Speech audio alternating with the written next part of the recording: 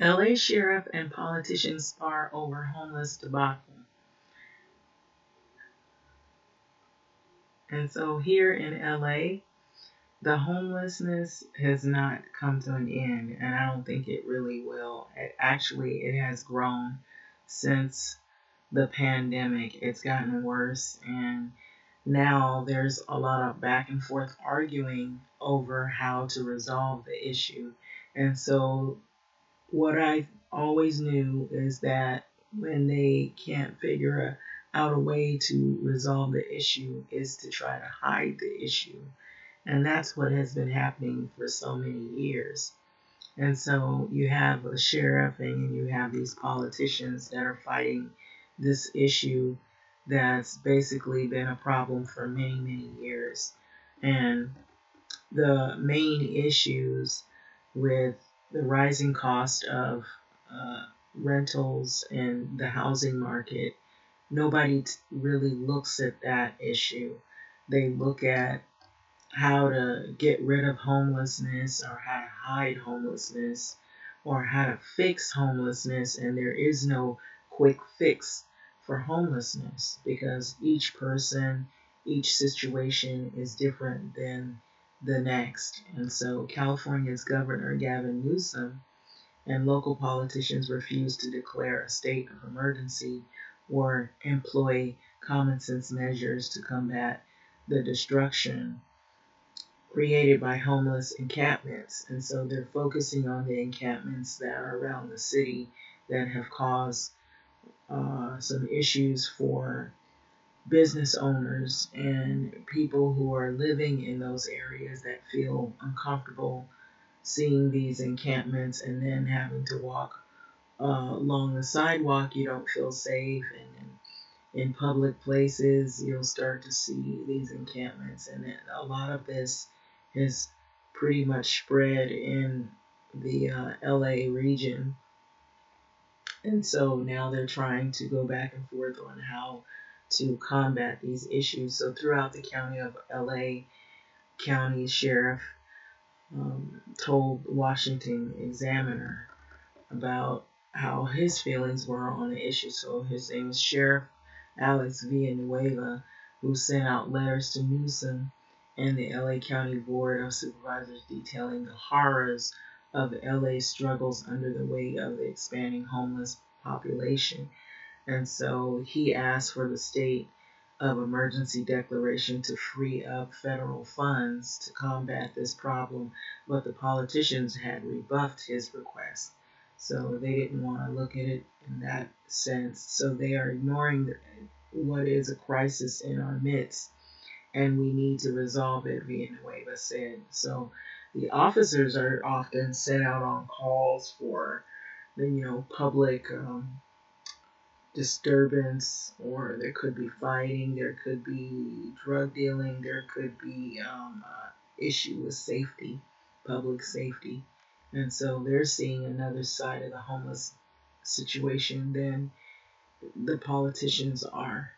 So he asked for the state of emergency declaration to free up the federal funds to combat it, but they're ignoring this issue. So his July 8 letter to Newsom was ignored, and several exchanges with the board between June the 23rd to July the 28th, it had no results. And so rather than responding themselves, the county supervisors delegated the tasks to the county counsel office, which irked the sheriff. Villanueva paraphrased the counsel's letter because it was completely redacted. And so the letter basically said, mind your own business because there is no emergency here, Villanueva told the Washington Examiner. So that's the way it was conveyed to the sheriff. So it said that the county has a robust outreach program but there is nothing you can describe as robust because I've seen the problem grow in the past 10 years. And so a lot of people have seen this. I've seen it grow as well. So I have to be honest and say that it wasn't as bad as it is. Not saying it wasn't there, but it has gotten worse over the years. And so I feel, in my personal opinion, outside of this article that it also has to do with, uh, well, now you can include the pandemic as being one of the issues and the job losses, but before that, you know, we had a homeless issue, and a lot of it had to do with not having enough income to pay for the high rents and the high cost of living. So that was another issue that has been going on as well. So when Villanueva sent the board the second letter asking for a personal reply instead of the county counsel, he received another letter from the lawyers. And so this file in the December 3rd, 2018 file photo. An LA County Sheriff Alex Villanueva speaks during a ceremony in Monterey Park, California. Villanueva says inmates at the jail tried to infect themselves with the coronavirus by sharing a cup of water and a mask and showed surveillance videos from the two units of North County Correctional Facility in Castaic and so the footage that you see, which it was released on the news, and you can see uh, Monday, May 11th, 2020, it captured inmates in one unit. They were sharing a cup of water, and others in a second unit, they were sharing a mask. And he said that 21 of those inmates in the units they later had diagnosed positive with COVID 19. So we got another letter back, even more snitty, stating that it's privileged and confidential, and we can't disclose the contents of this, he said. So Villanueva has taken it up upon himself to combat the homeless problem as he sees an influx getting worse.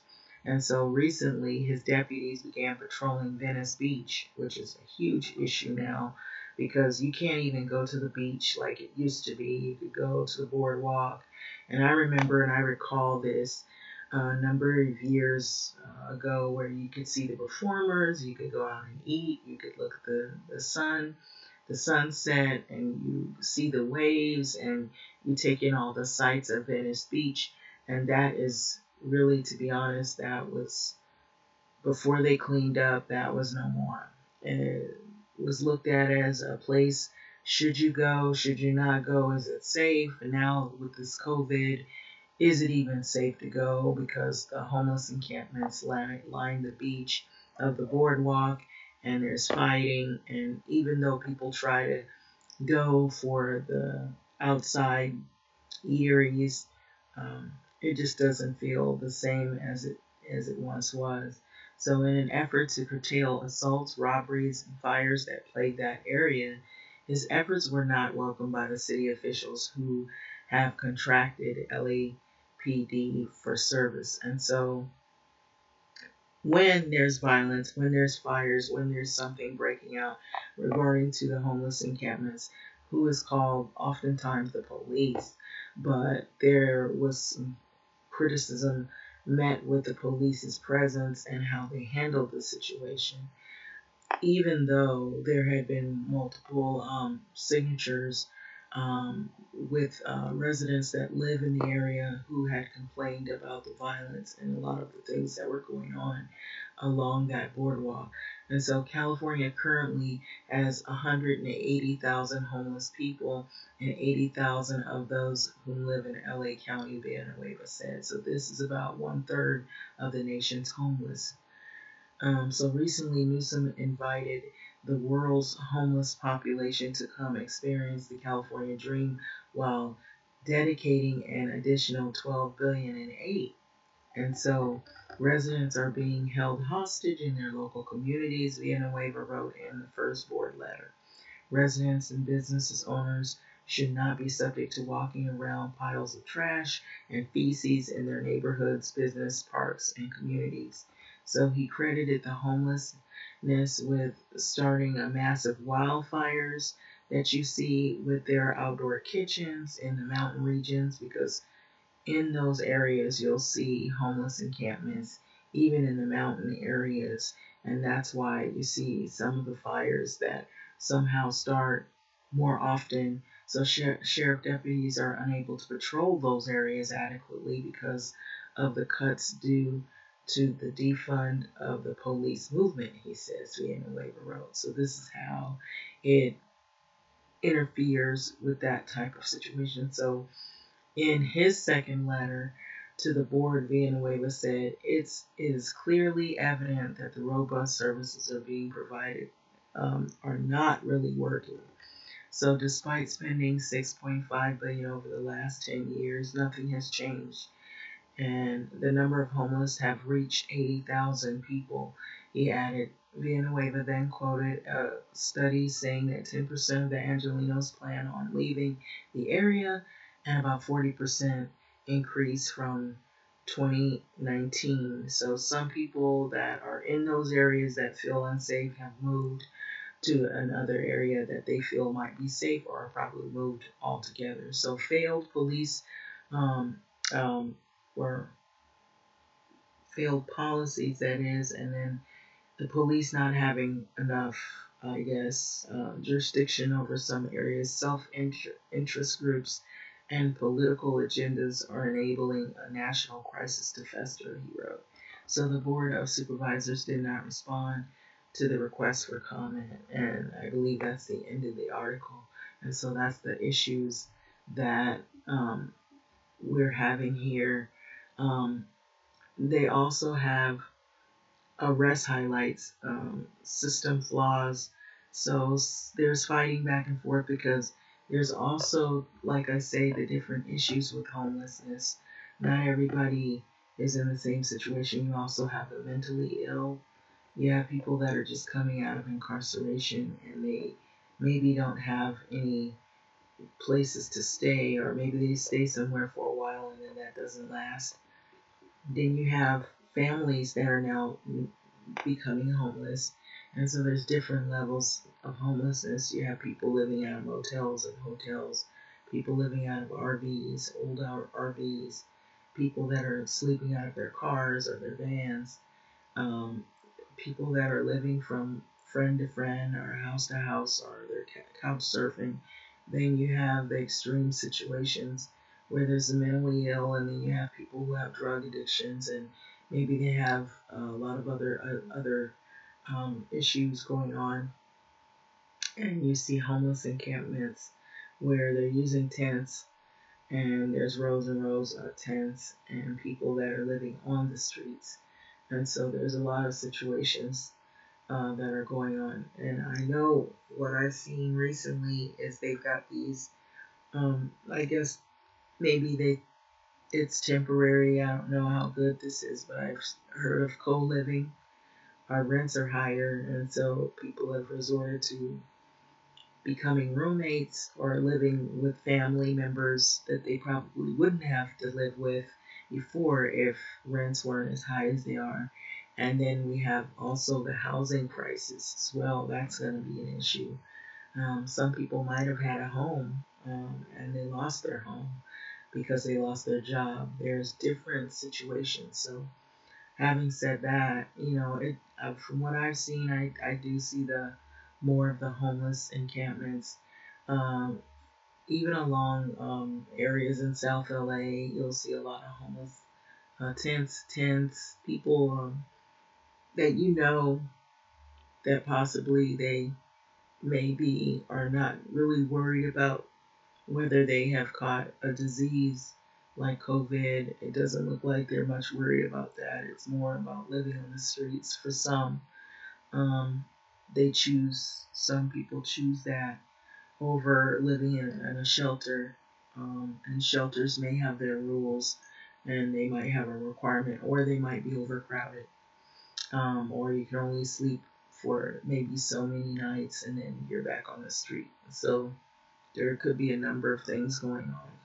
And so, with the population of homelessness that is growing as well, you have to look at California. The weather is also what draws people because they feel like maybe they can survive better in a warmer climate than in an area that is colder. Um, so that might be another reason why most of the people will come to um, a warmer area to to be homeless uh, outdoors because they maybe can withstand the elements better um, than in a place like the Midwest or somewhere where it snows or it gets colder. And so you might not see as many of the encampments out there, of course, because of the weather is what sends people um, to a hotter uh, environment. So with, uh, but you know, from what I've seen, a lot of what is said in here, um, not all of it is is fabricated. I will say that. I don't believe really. I believe that's just their their side of what they're seeing, and it isn't a fabrication. That's that's their opinion, and that's their side of what they're seeing. And a lot of what um, is said in here in this article with the homeless encampments on Venice and beach and beaches and areas. Um, that's why they uh, now have stricter laws about where you can have your tents and where you can sleep outside and where you cannot. And so that they have already uh, started that. And so, but I still see the encampments, um, you know, as they clean them up or they move them or relocate them. Um, sometimes they move away, not far from the areas where they can't be or they wait until things die down and then they, they're back where they were uh, slowly uh, and then they gradually pick up again where they left off. And so that's what the problem is. And it just seems like it has grown over the years. It has. So I have to say that I have seen it grow. It's gotten worse. And so it is dangerous. You know, there are areas that I've seen look like they're burned a lot of clothing, a lot of feces. You'll see sometimes people actually defecating in in the street, um, and I guess maybe because they don't have um, or they can't, you know, they can't use the public restrooms in, unless they're actually buying something in those um, places, those establishments. And so if you're not purchasing anything, then you can't, you're not allowed to use the public restrooms. So you have to uh, wait or go somewhere else where you're allowed, or they end up going out in public or around where people are walking or driving and can see it. And so it's a lot of suffering you see happening, and it's really sad. But anyway, having said that, I'm to let this video go. So this is not um, completely untrue. I will say that much. So I have seen it, and it is sad, and it's it's it's scary too. Because some of the encampments, you'll see them if you're walking somewhere, and you don't feel safe. You don't know who's in there watching you, um, and you know, like if you're walking along there with a purse, you you know, if you've seen some, you know, activity, criminal activity in that area, you don't feel safe walking along there. So um, having said that, I'm to let this video go. Thanks for listening.